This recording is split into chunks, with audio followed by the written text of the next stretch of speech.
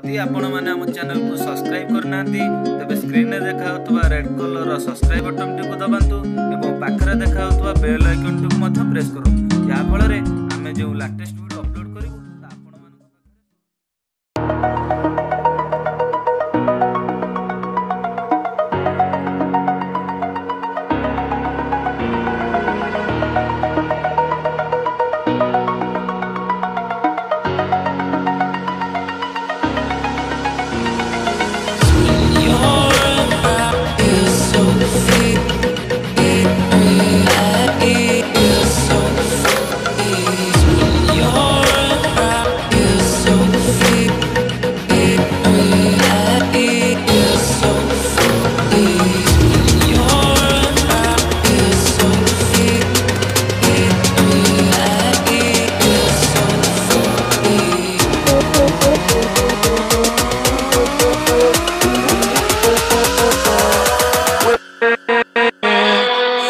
Oh,